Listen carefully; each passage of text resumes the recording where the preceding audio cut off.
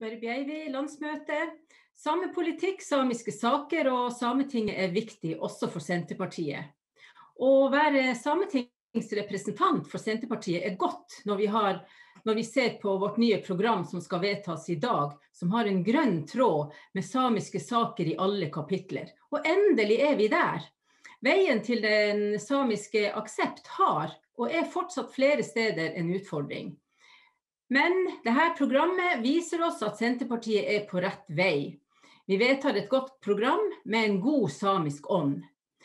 Og med et slikt program som tar samiske saker på alvor, viser oss at Senterpartiet er tydelige og tar urfolks ønsker, behov og utfordringer på alvor. Eh, I går var en gledens dag for oss som eh, sametingspolitikere da Senterpartiet ga sin eh, tilslutning, altså stortingsgruppa, var med på å vedta den viktige konsultasjonsloven i Stortinget. En gammel sak, egentlig, som handler om å styrke samenes rettigheter, og som alle her i salen bør sette seg inn i når dere kommer hjem. Det betyr at samiske hensyn og interesser skal ivaretas før vedtak fattes i kommuner og fylker og stat som berører samiske interesser.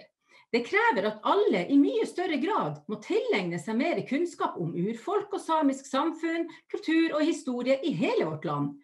Og det vi ser, det nytter, og det går fremover.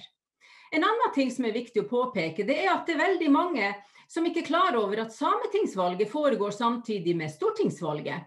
Og Derfor vil jeg oppfordre alle Senterparti-lokallag i hele landet og legge merke til hvem som er sametingskandidaten i ditt område for Senterpartiet. Vi har mange flotte, flinke kandidater, og ta gjerne kontakt med dem. Vi skal få inn flere enn de fire vi har på Sametinget i, ved dette valget.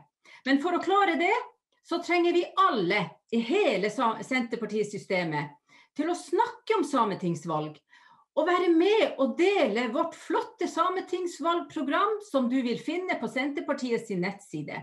Og får vi det her til, så vil det styrke hele vårt flotte og mangfoldige Senterparti i hele landet. Og vi skal også vinne Sametinget.